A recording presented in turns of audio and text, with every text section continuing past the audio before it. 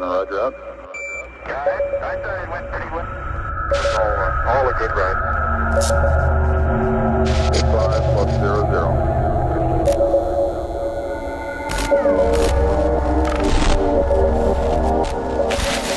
La gata de Redinger. Y yo, Javier Santaolalla. Estamos aquí para responder tus preguntas y hacer otras más. En un futuro nos comunicaremos solo con pensarlo. ¿Existirá el dinero? ¿Qué comeremos en Marte? ¿Disfrutaremos lo mismo del sexo? Esto es What, ¿tú cómo lo ves?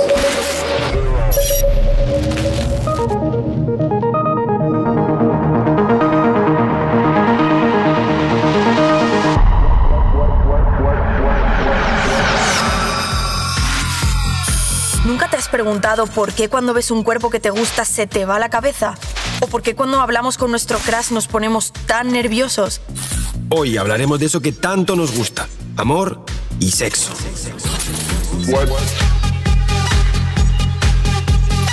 Todo empieza de forma muy sencilla, en los sentidos. Son ellos los que preparan el cóctel, ese copazo hormonal que nos vuelve locos. Empieza el subidón y ahí ya no hay nadie que lo pare. Hasta que esto se regula naturalmente. Imagina qué horror estar con el hype ahí eternamente.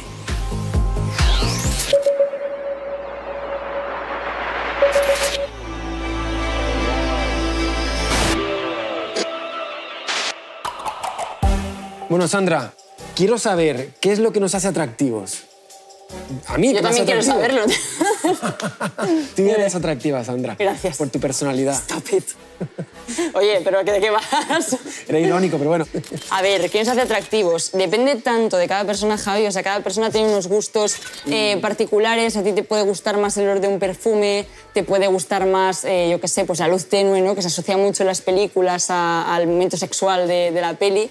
Pero luego, más allá del contexto del acto sexual, hay, hay estudios que, por ejemplo, han visto que los rostros simétricos son, por lo general, considerados más atractivos o que buscamos parejas que se parezcan eh, de alguna manera a nosotros, pero no demasiado. ¿no? Entonces, eh, hay, hay mucha variabilidad. A ver, también te digo que estos estudios que intentan buscar eh, una explicación biológica y evolutiva pura a cómo nos comportamos sexualmente, hay que pillarlos súper con pinzas. Claro. ¿Vale? Porque yo, entre mis instintos y cómo me comporto yo sexualmente, hay tantas capas sociales y culturales de por medio que es muy difícil de Es explicar. muy reduccionista, ¿verdad? Es Ir muy reduccionista, exactamente. Y al final se hacen generalizaciones teniendo en cuenta la va- variabilidad que hay y que cada persona es distinta y que hay tendencias, pero no verdades absolutas. ¿no? Y otra curiosidad que tengo yo, ¿por qué hay cosas que se nos fijan tanto en la cabeza? Algo como, por ejemplo, el primer beso. ¿Tú te acuerdas del primer beso? Sí. O sea, a ver, es que primero que al primer beso se le da un bombo eh, a nivel social Es verdad. increíble. O sea, tú ya tienes un poco preconcebido que el primer beso va a ser como algo que vas a recordar, ¿no? También es verdad que cuanto más emocional es una experiencia, más se te fija eh, los recuerdos, ¿no? O sea, el primer beso justamente tiene que es único, es la primera vez, es la primera experiencia de este tipo y eso hace que se te fije eh, mucho más en la memoria. Un ejemplo de esto es que si yo te pregunto cuál es tu segundo beso, o sea, cuál fue tu segundo beso, o el tercero o el cuarto, seguramente no te acuerdes, pero te acuerdas del primero, ¿no? Y Es un poco por eso. ¿Y entre sexo y reproducción? ¿Qué me dices? A ver, eh, te diría, mira, no somos los únicos animales que tenemos sexo por placer. O sea, esto ya hay delfines, bonobos, hay muchas especies que tienen sexo por placer. Podríamos pensar que el ser humano de las cavernas era más libre sexualmente. Luego, en el momento en que se impone una religión cristiana, por ejemplo, pues el sexo ya va con fines reproductivos, salirse de eso es pecado, ¿no? Y a medida que una sociedad evoluciona y se vuelve más libre... Volvemos a las cavernas. Es- no, bueno, sí, no. En plan, no volvemos a las cavernas, Cuántico por también. suerte, podemos estar en casa, pero somos sexualmente más libres. Entonces, eh, ha ido fluctuando mucho. Sexo por placer, sí, depende de la zona geográfica, de la cultura, de un montón de cosas. Y oye, ¿qué factores influyen en el aumento o disminución del deseo sexual? A ver, hay cosas como súper cotidianas, por ejemplo, como el cansancio o el estrés, que son la, causa principal de falta de deseo sexual. Y esto tiene una explicación eh, realmente biológica porque es- esto es debido a que el sistema nervioso simpático, simpático. que se encarga, el antipático no, no. que se encarga Sabía. fatal, que se encarga de, de- de provocarnos reacciones de huida o de lucha cuando hay un peligro, este sistema nervioso también inhibe el deseo sexual. Lo cual tiene sentido, porque a mí si me viene un depredador a atacarme, no tiene sentido que me apetezca de repente hacer otra cosa que no sea huir. Eso todo mal. Y por eso yo a veces veo series como La Casa de Papel y digo, esto no es verdad. O sea, tú no puedes ser que estés en una situación de estrés y mazo de miedo y peligro y, Y ahí esté todo el mundo liándose con todo el mundo, ¿sabes? Plan, eso no, no es muy científicamente correcto que digamos. Bien. What?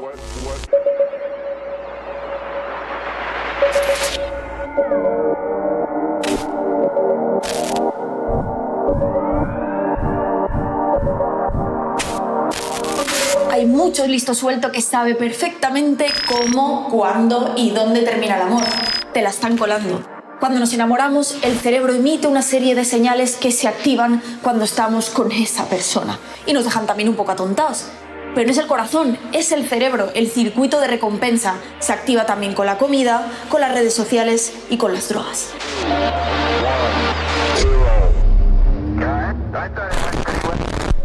Ramón, voy a empezar muy fuerte. Uno de estos mitos así súper famosos.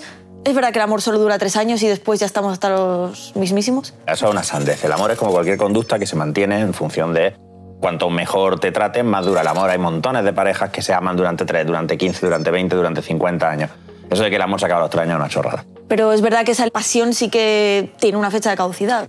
La limerencia dura unos pocos meses normalmente, y eso es cierto. Todo el que ha estado enamorado alguna vez sabe que este subidón luego remite y cambia. Limerencia, cuando empiezas una relación con alguien y todo es un cóctel de hormonas. Pero que cambie no quiere decir que desaparezca. O sea, ahora, si tú me, te- me dices el ciego inicial del amor no es eterno, pues claro, pero eso, eso ya se sabe. Bueno, una palabra que resuena muchísimo hoy en día, cada vez más jóvenes, y que se utiliza yo creo que a veces también con un, como un poco peyorativo, ¿no? Que es el tema de la friendzone, ¿no? Que parece que por tener una amistad tenemos que estar obligados a querer algo más con esa persona. Pero ¿se puede salir de la friendzone? ¿Qué explicación tiene? ¿Es psicológica? La friendzone es un intento de reducir disonancia cognitiva. La disonancia cognitiva es un malestar que tú experimentas cuando tienes dos ideas que son contradictorias en tu cabeza. Ahora tú imagínate la situación de tú a mí me gustas mucho, tú me dices que me quieres mucho, pero no follamos. Esto me genera un malestar, una disonancia, además de un dolor de huevo. Porque eh, yo mm, no, no encuentro cómo conciliar esto. ¿Cómo resuelvo la disonancia? La mayoría de las veces, la mayoría de veces la resolvemos insertando una justificación. Ah, es que Rocío me ha puesto en la friendzone. La friendzone no existe. La friendzone es que no quieren follar contigo, Paco. Ya está, ya está. No quieren follar contigo porque no le gusta a esta chica en concreta por la razón que sea. No existe la friendzone. Para salir de la friendzone, tú tienes que incrementar tu atractivo, pero no por el tema de la friendzone o no friendzone, sino porque mm, en general las conductas que más atractivas encuentran las, las mujeres heterosexuales, de acuerdo con investigaciones como las de Goldman y Levenson, son demostrar competencia en algún campo. Los músicos follan porque tienen una habilidad que no es tan común, no es tan común, y entonces cuando eh, eh, desarrollan esa habilidad y lo hacen con, con- con nivel, eh, resultan atractivos. El, eh, la capacidad de conectar emocionalmente y escuchar a la otra persona, el sentido del humor, eh, en general la inteligencia suele considerarse bastante atractiva, o sea, hay multiplicidad de conductas, estar bueno ayuda también, pues sí, es cierto, nunca, nunca sobra. La friendzone no existe porque no se trata de que las chicas conscientemente digáis, a la gente que me trate bien los voy a tener como amigos, pero para follarme voy a ir con los malos. Eso no se hace. Eso na- nadie piensa así en el mundo. Una justificación harto machista. Si una chica te trata bien y, eh, o sea, porque tú la tratas bien, quieres ser tu amiga, es una persona normal, porque es normal que la- los amigos se traten bien. Vale, pero mucha gente vive de crear estrategias para salir de esa friendzone, para decirte, con esto infalible te la vas a follar. ¿Eso qué, eso qué pasa con eso? Eso es aprovecharse de la desesperación de la gente. Eso está mal. Hemos hablado mucho de estudios ¿no? con referentes heterosexuales, parejas monógamas, pero ¿qué nos depara el futuro? ¿no? Porque cada vez hay otro tipos de parejas más visibles, no heteronormativas, abiertas, poliamor, alegría. ¿Eso qué va a pasar? Hombre, predecir el futuro siempre es una cosa jodida. Pero para empezar, no hay nada nuevo. Hay cosas que se ven más. Las parejas abiertas no son nuevas. Nuevo es la difusión y la publicidad que tienen. En la antigua Roma eh, había muchísimos casos de hombres y mujeres que tenían perfectamente acuerdo dentro de su matrimonio que manteniendo una forma mínima, pues aquí cada uno hacía lo que le daba la gana. Pensemos, por ejemplo, en el trabajo que han hecho algunas historiadoras fantásticas mostrando a cómo las lesbianas se han invisibilizado, porque hasta hace cuatro días el que dos mujeres vivieran juntas, solas, como una pareja, todo el mundo decía, no, es que son muy buenas amigas. Señora, que se comen el coño. Ya, pero son muy buenas amigas, es una amistad muy bonita. Dos hombres haciendo lo mismo, los habrían emplumado y lo habrían tirado por un acantilado. Pero a estas no. ¿Por qué? Porque simplemente no se pensaba en ello. Entonces, ¿cómo será el futuro? Lo único que yo me atrevería a anticipar es simplemente que habrá más oportunidades, porque ahora tenemos más capacidad de conocer a gente de la que teníamos hace unas décadas. Me gustaría pensar que lo que va a traer el futuro, sobre todo, es menos gente infeliz con su orientación sexual. Pero luego, lo que es el tema de entablar relaciones y follar, yo creo que va a seguir más, básicamente lo mismo. Quizás nos volveremos más creativos con algunas cosas. Estoy aquí con la sexóloga Alba Povedano y vamos a hablar de amor, sexo y relaciones. No sé si a ti te pasa, pero a mí me cabrea un poco que parece que no se pueda estar en soltería o que se vea a las personas solteras como a ver si te echas novio ya, ¿no? Podríamos quitar un poco el estigma que hay alrededor de lo que es la soltería, ¿no? Lo que significa. Pues sí, Rocío, a mí también me cabrea bastante y además hay algo que, que, me molesta especialmente y es que actualmente no hay ningún referente, ni en televisión, ni, bueno, ni series, ni películas, ni nada que podamos ver cómo se vive esa soltería eh, de forma eh, feliz, alegre, eh, escogida, una soltería escogida en la que tú quieres vivir de forma tranquila o a lo mejor quieres vivir tu sexualidad estando con quien te dé la gana, sin tener que dar explicaciones, sin tener que, querer estar con alguien. ¿Por qué queremos estar con alguien? Igual no quiero estar con alguien, ¿no? Que ojalá hubiera más referentes en televisión, o ojalá hubiera más personas a las que pudiéramos fijarnos para poder coger ese ejemplo y decir, oye, pues yo también quiero estar así, identificarme, ¿no? Venga, guionistas del mundo, curraoslo un poco más. Personas libres, solteras, felices y sexuales. Un poquito variedad, hombre.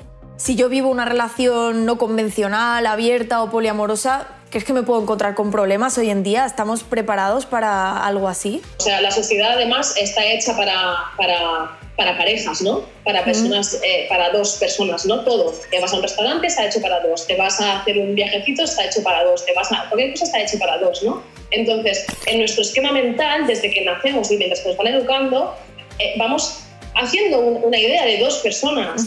Entonces, para abrir eso, para tener en cuenta las emociones de otras más personas, yo tengo que tener una conciencia que sobrepasa a lo que yo estoy educada, sobrepasa lo que yo estoy viviendo en la sociedad. Pocas personas se dan cuenta que abrir una relación o vivir en, el poliamor eh, se necesita eh, muchísimo más conocimiento, muchísimo más entendimiento de las emociones y, de mirar el mundo interior y de empatizar, de saber qué es lo que siente la otra persona y de tenerla en cuenta. Pero bueno, poco a poco puede ser que vayamos eh, cambiando y ampliando un poquito más esa visión de dos dualista, ¿no? ¿Cuántas veces al día piensas en sexo? Pues una, ¿no? Cada media hora. Yo creo que unas cinco o así en un día base y ampliable. Según, al fin de semana. según al fin de semana.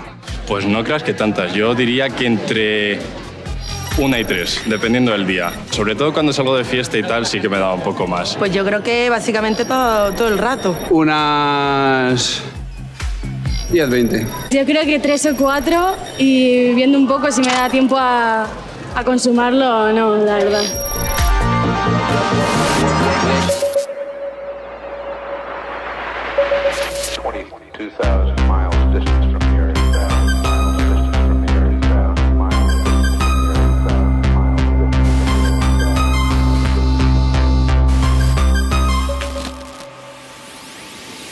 ¿Cómo encontramos pareja? Instagram, Badoo, Tinder, ¿estamos eligiendo nosotros o están eligiendo por ti? Entonces, Nerea, ¿qué opinas? ¿Pensamos tanto en sexo como nos dicen? A ver, hay estudios que dicen que pensamos en sexo cada siete segundos. Eso es mucho, ¿eh? Eh, igual se les ha ido un poco de madre el estudio, ¿sabes? Igual está un poquito mal hecho porque es que no entra en cabeza humana 500 veces a la hora y sexo, sexo. La cosa es eso, que es que cuando se ponen a hacer estudios y te dicen, dime cuántas veces piensas en sexo, pues es que ya te han metido ahí en qué pensar, entonces ya no pueden salirse de ahí. Cuanta mayor sexualización parece que es mejor. Y mm, bueno, hay un, hay un filósofo que es Foucault, que es el primero que señaló que, bueno, que hablar de sexo puede ser una manera de control de la vida privada de, nosotros y creo que están utilizando el sexo de, esa manera. Otra más, ¿no? Porque ya no están controlando... Sí, pero si no tuviéramos suficientes, esa más. De forma que me controlen con sexo, yo prefiero que me controlen de otra manera. Ahí no, no. ¿Y esto realmente está matando el amor? O sea, ¿realmente estamos viendo una época en la que el sexo se está comiendo el espacio que tiene el amor? Creo que eso también es un mito, o sea, es un poco sensación de, de que pues por la afluencia de apps, de repente solamente queremos follar y en realidad no, o sea, sigue habiendo amor igual que siempre. El amor yo creo que sí que hay algo que está cambiando, es la idea de amor romántico, ¿no? Es algo que estamos intentando deconstruir y en ese proceso de deconstrucción eh, estamos un poco en un galimatías extraño, ¿no? El De- Disney este, ¿no? Se estamos matando Sí, es a como yo no Blancanieves". quiero que ningún príncipe me rescate, ¿sabes? De ya me rescato yo sola, gracias. Y el tema de las apps, eh, eh, Tinder y estas cosas, nos parece que es algo transparente, pero detrás, y yo lo sé, hay un algoritmo. A ver, un algoritmo es la manera que tiene un, un programador de preparar una app, es decir, que te enseña, que no te enseña, eh, qué quiere que hagas para mantenerte ahí mm, enganchadísimo. Entonces, están pensadas para tenerte ahí enganchadísimo. La aleatoriedad en, en No, las no aplicaciones no, existe, ¿no? O sea, creo que todos los que estamos convivimos con el algoritmo, ¿sabes? Igual que hay quien convive con Dios, pues eh, el resto convivimos con algoritmos y bueno, pues eh, es algo que hay que implementar en nuestro día a día y saber que eso existe, pero igual que eh, existen las clases sociales. Es decir, yo voy al bar de debajo de mi casa en Vallecas y no es lo mismo que el que se va a un- al Palace. Pues eh, existen algoritmos, digamos, eh, in- más intangibles, que serían Sí. los de las redes, y algoritmos más materialistas, que serían, pues eso, las clases. Llegará un momento en el que, guiados por la biología, poco a poco también la vayamos aplicando aquí y pues no pidamos un nude, sino pidamos un genoma. Nerea, estoy cachondo, ¿me mandas tu ADN?